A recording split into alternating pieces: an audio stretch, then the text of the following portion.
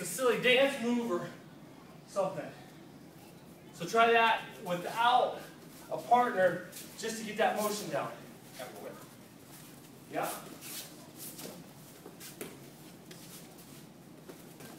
Throw. There you go. That's good. Now see, you turn your body. That's what some of you guys are doing. You're turning your body like this.